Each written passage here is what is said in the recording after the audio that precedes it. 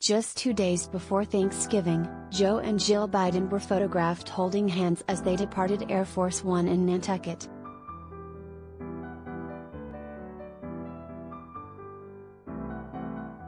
Joe Biden and his wife, Jill Biden, will be spending Thanksgiving in Nantucket, and they arrived two days before the holiday on November 23.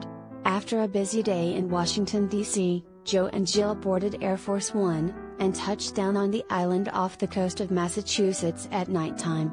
They both wore long coats and masks as they departed the plane, holding hands as they walked across the tarmac. The President and First Lady were joined by kids Hunter Biden and Ashley Biden, along with Hunter's wife, Melissa, and a bunch of their grandchildren.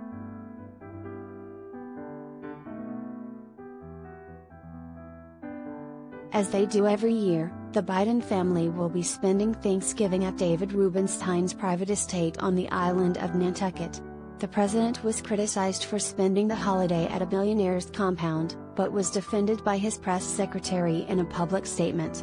This is a time to put politics aside, spend time with your loved ones and talk about what you're grateful for, she insisted. She also added that the president will have staff traveling with him so that he can work over the long weekend. The family is expected back in the White House on November 28.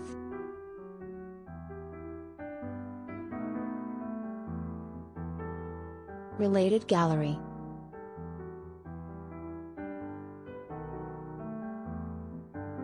Jill Biden's style, see the First Lady's gorgeous fashion in photos.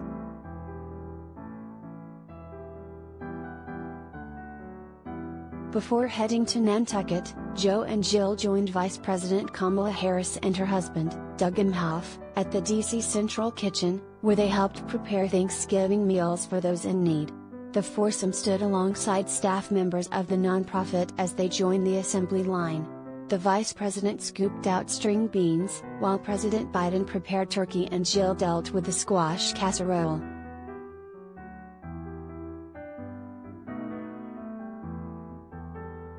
Earlier this month, President Biden celebrated his 79th birthday. The president was showered with love from fellow politicians and celebrities. Wishing you a happy and joyous day, Kamala wrote on Instagram. Happy birthday. Barack Obama also weighed in, writing, Happy birthday to my friend and my brother. Thanks for giving Sue the gift of better infrastructure. Grateful for all you're doing to build this country back better.